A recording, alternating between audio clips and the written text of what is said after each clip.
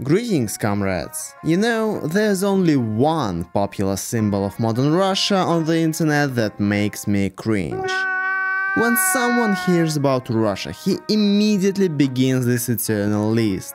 Oh, Russia, Putin bears, vodka, matryoshka, babushka, balalaika, and that's fine, fine. But when they start adding Adidas, sunflower seeds, hard bass and Gopniks to that list, I start getting angry. Why yes, I don't really like my country being associated with semi-literate street thugs and tracksuits. But now, in the year 2023, I am especially pleased to be able to declare that the Gopnik subculture is finally dead. Гоп-стоп. Мы подошли из-за угла. First of all, it's worth clarifying that Gopniks are not a real subculture. They do not have any unifying moral values, ideas or philosophy or goals, and Gopniks don't call themselves that. Ask a goth if he is a goth. He'll proudly answer that yes, he is. Ask a Gopnik the same thing and it will definitely come to blows. On the contrary, they prefer to call themselves normal guys, real guys, true guys, proper guys, you get the idea. Even the style of their clothing, despite the stereotypes, could be different. Usually it was just cheap stuff from the nearest market. So who is a Gopnik? A young man of low social status, usually from dysfunctional families. He recognizes the right of the strongest, tries to live by some unwritten rules similar to the laws of the criminal world, and is characterized by increased intolerance and aggression toward everyone around him. Today let's talk about how the Soviet Union had real, traditional Gopniks, how this movement was reborn after the collapse of the USSR and gave birth to the image of a dude in an Adidas suit with a shaved head, which has become one of the biggest memes about Russia. And lastly, about how this movement finally died, and what came to replace it. I have already said that one of the things that unite the Gopniks is their low social status. The word Gopnik itself emerged before the revolution of 1917, when there were special organizations in Russia that took care of the poor, the crippled, the sick, the orphaned, etc. There was not much money allocated to help these young people, so they were forced to engage in illegal street activities – theft, robbery, begging. The word Gopnik comes from the acronym GOP, the name of one of these organizations, which stands for Городское общество презрения – City Welfare Society or State Dormitory of the Proletariat as it was called after the revolution. It was located in St. Petersburg on Ligovsky Prospect, and this place can rightly be called the birthplace of this phenomenon, which then spread throughout the country. Gradually, the word Gopnik began to be used to refer to all St. Petersburg tramps, ragamuffins and beggars, not just the inhabitants of the building in question. The state dormitory of the proletariat was closed in 1926, but the word itself has remained in the history of not only the Russian language, but has become practically international. For the time being, the authorities did not pay much attention to Gopniks. They did not interact with crime bosses and were engaged only in petty vandalism, fights against each other between different neighborhoods, and finding out which of the gangs was cooler. In the Soviet Union until the 1980s, they were more commonly referred to as hooligans. Under that name they lived on the page of satirical magazines like Crocodile and Pepe. In fact, it was not until the end of the Soviet Union's life cycle that these gangs became a big problem. This was largely because really big ones began to emerge, no longer interested in petty hooliganism but in more serious criminal matters. From the 1970s through the 1990s, dozens of teenage communities emerged in the USSR, clashing with one another over the control of their territories in cities and towns across the country.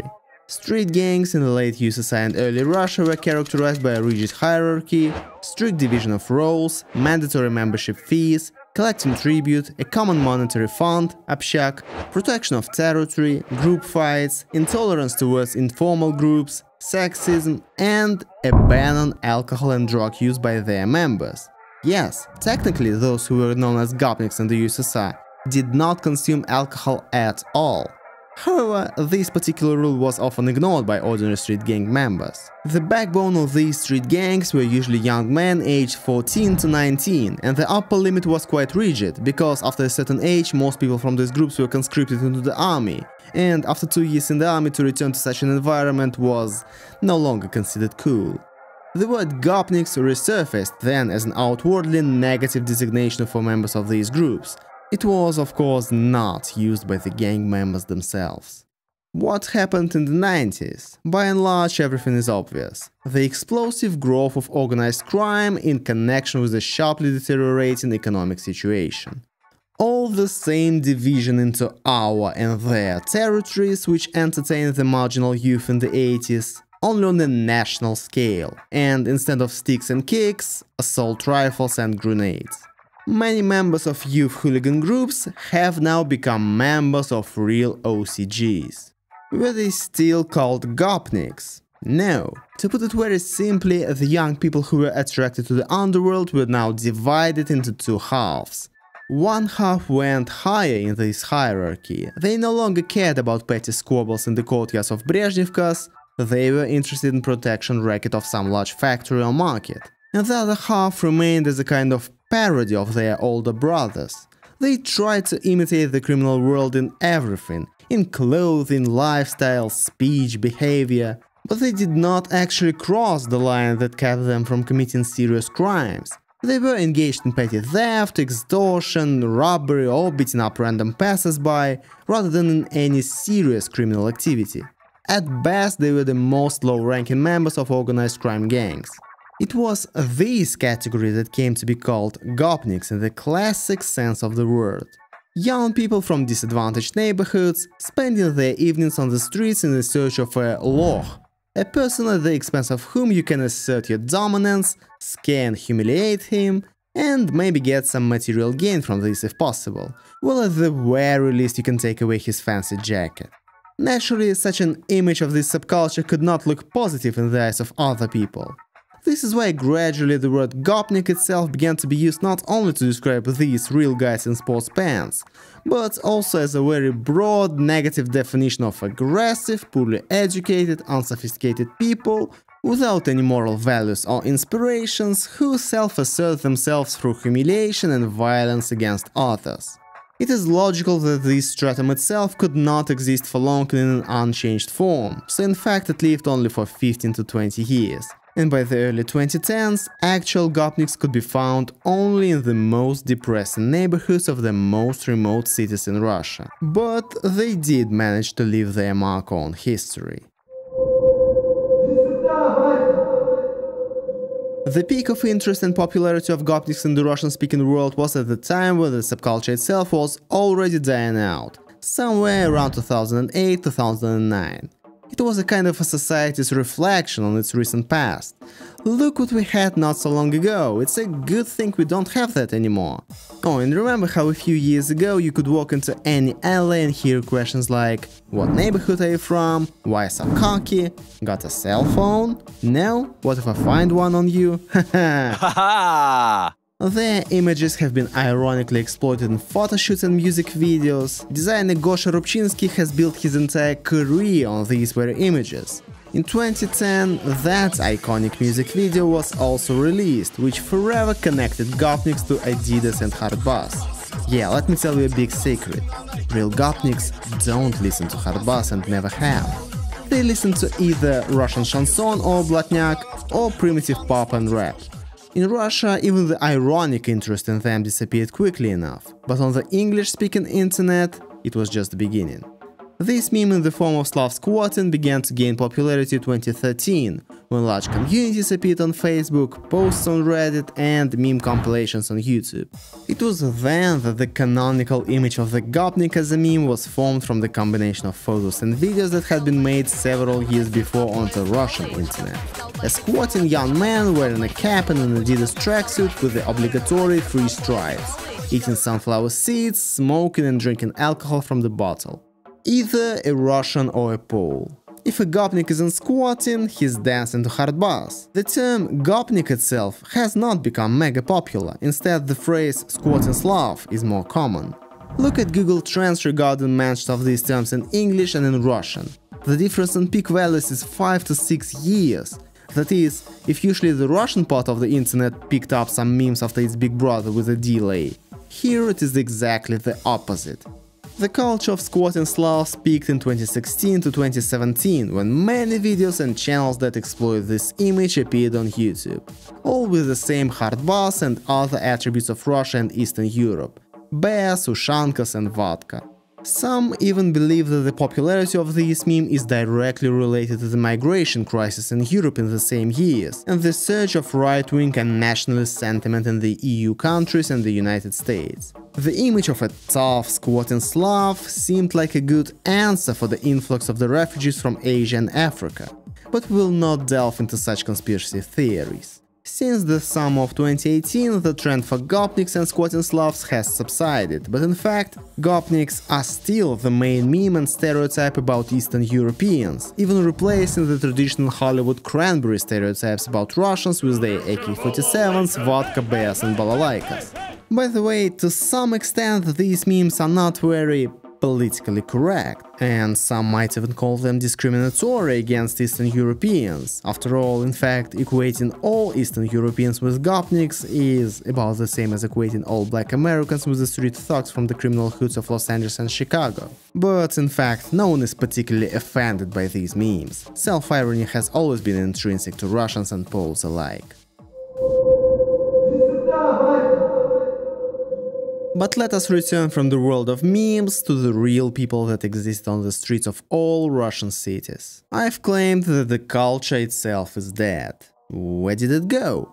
First of all, it is worth remembering that the original Gopniks are first and foremost the children of the 1990s, when people from disadvantaged neighborhoods simply didn't have many options for making money. It was either crime or... nothing. I understand that there's a popular opinion on the internet that literally everything in Russia is about to end and there will be starving people roaming the streets and eating each other, but that's not true. Now the standard of living, even in remote and depressed cities, is much higher than it was 20-25 years ago, when in fact every walk on the street in the evening could turn into your last one. The old gopniks either went to jail, went to the next world because of their not so healthy lifestyle, or miraculously grew up and wised up. And young people were no longer so interested in this kind of street life. Secondly, oddly enough, I'm pretty sure it was computer games that helped. Imagine, you're not the richest teenager from the late 90s. What do you do in the evenings? There is no work in your town, there's no interesting accessible leisure time either. You go to the bench in front of your Khrushchevka for a beer with your friends, and there you might find some loser and have fun. Now moving forward 20 years. You're exactly the same teenager, what do you do in the evenings? Yes, you have a CSGO match and all your friends are on Discord. What bench? Why take away someone's smartphone? You can assert your dominance just by winning the next round. The Gopnik generation was raised by the street, and the next generation was raised by PCs and cell phones. Thirdly, the laws and control are getting stricter. If we're talking about Moscow, literally every alleyway is full of cameras. If you just think about stealing that dude's cell phone, they'll find you on cameras before you even get to the nearest subway station. There are also more police in Russia nowadays, and in this case, that is a plus. People hardly carry cash anymore, and there are fewer people willing to risk going to jail for 5 years for like $50. Plus, there are a lot of new ways for young people to earn money, even from poorer families. In the past they kinda had to sink to petty theft, but now they can easily go and work as a courier or a salesman in a cell phone store. The Gopnik of 2023 is most often just a poorly dressed man who disturbs the public peace. It is a man who comes to the beach drunk and cries loudly to the chanson, throwing beer bottles around him or just tries to have a conflict in the subway with someone, but without much violence. No longer a terrifying being, but rather a pathetic one, not feared, but simply avoided. However, nothing goes away without a trace. After all, young people can still gather around some idea, some image. If we talk about any specific movements among young people that can somehow be called the heirs of Gopniks, I can think of three such movements in the last 10 years. The first is the oh AUE movement, which translates as something like Prisoners Criminal Unity. I cannot say that it is any kind of formalized society at all. Rather, it was a generic name for teenagers who were still attracted to the criminal lifestyle and the related laws and concepts of the underworld. In fact, they were simply scattered communities of marginalized youths who copied some attributes of real criminal gangs and tried to live by their laws. Nevertheless, in Russia in 2020, the Supreme Court of the Russian Federation recognized AUE as an extremist organization and banned its activities in the country. Although again, according to many experts, there is no single organization with this name. Secondly, there are football fans, the so-called Ofniki. It is just another kind of teenage copycats, but if the AUE fans cosplay the World of Thieves, then the young football fans cosplay the European fan groups with their mass fights. In general, that was usually all they were interested in. They weren't interested in football itself, but fighting in the nearby woods with their peers from the neighboring school? Hell yeah! Oh yeah, you also have to wear the right clothing, preferably Stone Island. If you wear Stone Island and can't explain why you are wearing it, prepare to get punched in the face. Basically, they're just small gangs of teenagers wandering the streets and shopping malls, looking for peers to get their hands on.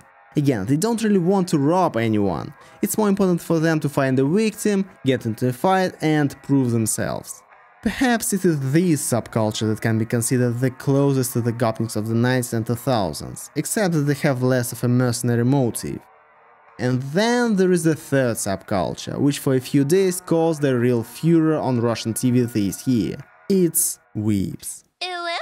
Yeah, I'm not kidding. In February of this year in the Aviapark Mall in Moscow there was a fight between Ofniks and weebs, from which the latter suddenly emerged victorious and these anime people were dressed very unusually, in hoodies with the number 4 on a white spider, taken from the Hunter x Hunter series. A day later the fights were repeated, already in other places. As a result, all the major Russian media broke the story of a dangerous new subculture called PMC Ryodan, who allegedly gather in shopping malls, attacking migrants and football fans and provoking mass fights. Roskomnadzor promptly blocked the largest VK group with this name. Even Kremlin spokesman Dmitry Peskov was forced to give his response about some dangerous new subculture that is spoiling our youth.